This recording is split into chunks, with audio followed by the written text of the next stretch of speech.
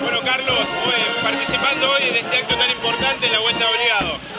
Una, una, conmemoración más de, lo que fue una gesta histórica y que, bueno, que viene a, reavivar ese espíritu patriótico, ¿no? En la Argentina de hoy, donde tenemos todos los días que luchar por, por las conquistas y, bueno, tratando de, de, proteger sobre todo la soberanía, la soberanía popular, la soberanía de los derechos.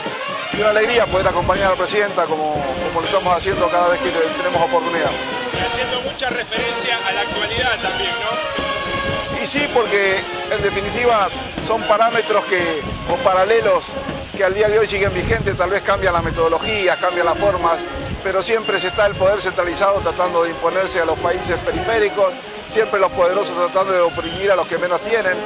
Y en esta construcción ciudadana que lleva adelante el proyecto nacional, creo que es, gestos o fechas como estas son relevantes, son importantes y son fundamentales. ¿no? Bueno, para, para finalizar, eh, ¿cuál es el, el, mensaje que se puede dar hoy después de una, a participar de un acto, de una gesta tan importante, ¿no?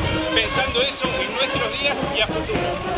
Y fijémonos lo que sin ir más lejos ocurría hoy en la Argentina, algunos que creen ser representantes de los trabajadores, tratando de oprimir a los trabajadores para que no concurran a su puesto de trabajo, violando la soberanía que tienen ellos y el derecho que tienen ellos a trabajar y a transitar. Creo que en la Argentina todavía hay algunos que deben aprender un poco de lo que significó la lucha por las conquistas sociales, por la conquista, por la independencia y por la soberanía.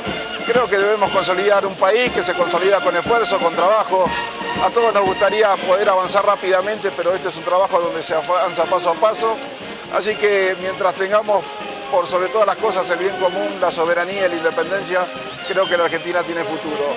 Estamos trabajando desde hace mucho tiempo para eso, lo vamos logrando día a día y no hacemos más hoy que, decir presente humildemente para manifestar nuestro apoyo incondicional a este proyecto nacional y popular que hoy encabeza Cristina y que iniciaron esto en el 2003.